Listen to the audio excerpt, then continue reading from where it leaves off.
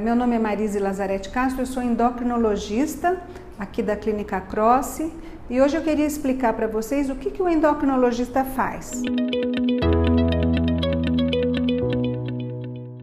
Então, existe aí uma, uma ideia de que o endocrinologista trata de obeso. Realmente, a gente também trata de obeso, mas a endocrinologia é muito maior do que isso. A endocrinologia trata de glândulas, das glândulas que produzem hormônios, né?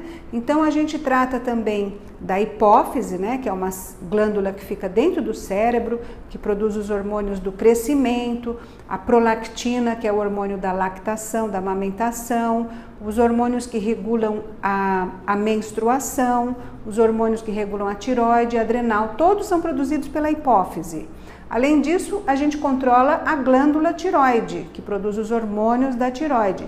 E atrás da tiroide tem as paratiroides, que regulam o cálcio no sangue, que também pode levar a alterações do cálcio no sangue.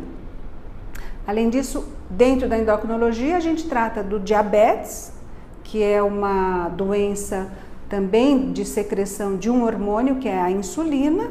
A gente trata das doenças das, da glândula adrenal, que produz várias, vários hormônios, produz os hormônios uh, masculinizantes, produz a adrenalina e a noradrenalina, produ, produz o cortisol e pode ter uh, doenças também nessa glândula que é chamada adrenal, que fica em cima dos rins.